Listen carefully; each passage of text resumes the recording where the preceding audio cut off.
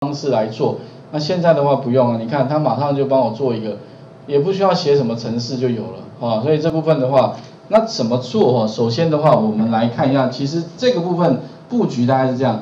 那里面的话呢，我讲过，我要怎么样让它更新？里面的话呢，在 timer 上点两下，timer 上点两下，它会触发一个事件，叫什么？timer 的 tick 这个 tick 啊，这个 tick 的一个事件，就跟你在吧台上点两下一样，它也会跳出那个事件，你就在这里面撰写。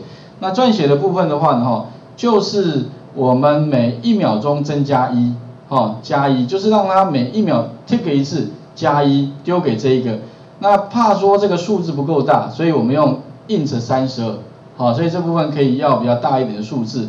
那这边的话会用到一个叫 view state 哈，view state 的话就是必须把值保留下来，我们会用到 view state 的这一个哈，这这个这个物件，那这个物件的话就会帮我把它保留在这一个 second 哈 second 里面，那这个有点像我们前面用到一个叫 session 物件啊 session 物件，那 view state 呢哈，我们可以保留这个呃 second 跟 mini，那这边后面加一个判断就是说如果 count 一大于五十九，就是讲五十九秒，那就是六十秒。六十秒之后怎么样呢？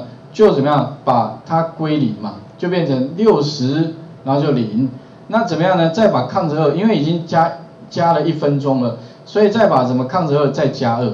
好，这样的话呢，再更新更新啊，因为我们的值要怎么样？放在这个 view state 里面，有没有？再把它丢进 view state，有点像这个一个呃 server 端。